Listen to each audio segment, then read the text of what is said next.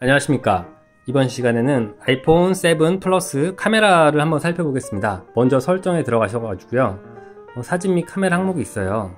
어, 여기 보시면은 격자 표시를 할 것인지 비디오 녹화는 어떻게 할 것인지 720p 1080p 1080p 이렇게 나눠졌는데 60프레임 30프레임 아니면 4K 이. 부분을 체크를 하신 다음에 어, 영상을 촬영을 하시면 될 것 같습니다.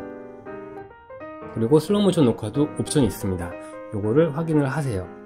그냥 막 찍지 마시고요. 이렇게 됐고요.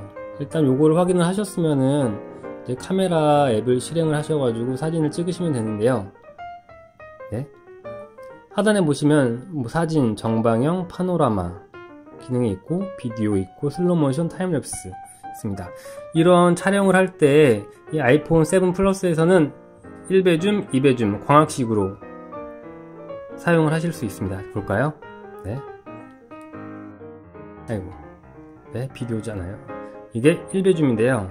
1배줌인데 광학시 2배줌으로 가면은 이렇게 가까워집니다. 엄청납니다. 음식 사진 찍을 때 이게 굉장히 효과가 좋더라고요. 근접하지 않았는데 굉장히 근접하게 정말 빛깔나는 맛깔나는 음식 사진을 찍을 수가 있었습니다. 개인적인 경험이고요. 네, 이런 식으로 사용을 해주시면 되고요. 촬영 버튼 누르면 촬영이 되는 거고요. 네. 아 물론 여기서 광학식은 2배줌까지 되지만은 다 이렇게 하면은 네. 디지털 줌도 사용을 하실 수가 있습니다. UI 어렵지가 않아요. 네. 이렇게 해주시면 되고요. 초점 잡으신 다음에 밝기 조절하는 건 다 아시죠? 여기다 맞춰도 되고 여기다 맞춰도 되고 이런 식으로 하시면 되고 위쪽에 보면은 네. 다양한 모드가 있어요. 흑백, 그레이, 느와르. 이런 거는 잘 사용을 안 하시겠지만 그래도 알고 계셨다가 나중에 특별한 효과를 주고 싶다 라고 생각을 하시면 쓰면 될 것 같습니다. 이건 뭐 비디오에서도 동일하게 사용이 안 되는군요. 네 안 됩니다. 사진에서만 적용이 되고 있습니다. 어, 다른 데는 안 되지? 네. 일단 뭐 이렇게 쓸 수 있고요. 이건 타이머예요. 타이머 기능. 끔 3초 10초 켜주고요. 이건 live photo 뭐 지금 끔 됐는데 킴 한번 live photo를 한번 촬영을 해볼까요? 키고서 키고서 촬영을 하면은 자 찍혔습니다. 재생을 한번 해볼게요. 누르면은 이렇게 정말 라이브하게 목소리까지 이렇게 촬영이 됩니다. HDR 기능은 뭐 밖에서 촬영하실 때 네, 더 예쁘게 사진을 찍을 수 있는 그런 기능입니다. 그리고 슬로우 모션 기능은 제가 카페에서 한번 테스트를 해봤는데요. 한번 영상을 한번 확인해 보세요.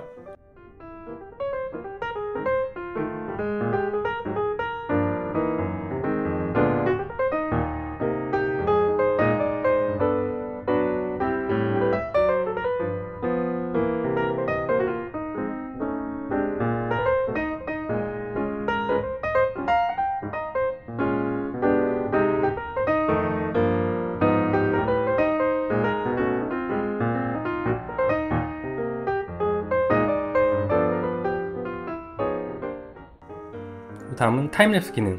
전 timelapse 기능을 굉장히 잘 활용을 하고 있어요. 재밌더라고요 timelapse로 촬영을 하니까요. 어저께 제가 음, 코스트코에 피자를 사러 가면서 한번 timelapse 기능을 활용을 해봤습니다. 이것도 촬영된 영상을 확인해 주십시오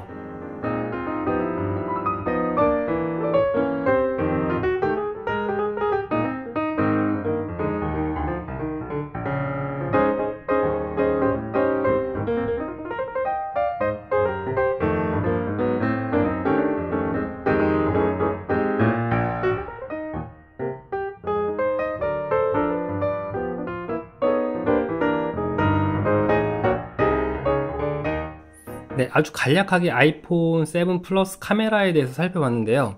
어, 많이 사용을 해본 건 아니지만 한 3일, 4일 정도 써봤는데요.